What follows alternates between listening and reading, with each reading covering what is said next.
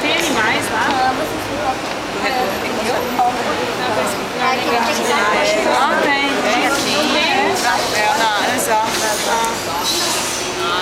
É porque senão o cachorro sempre vai ficar falando, a gente tá aqui pra subir. E a minha bolsa tá A gente vai subir.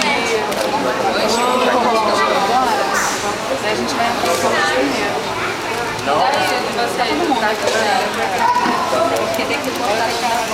É, mas aí é né? Dá-lhe passar Legal, eu acho. Enquanto a gente já tá no shopping. guardado. Aqui, vai ser Não, no carro só no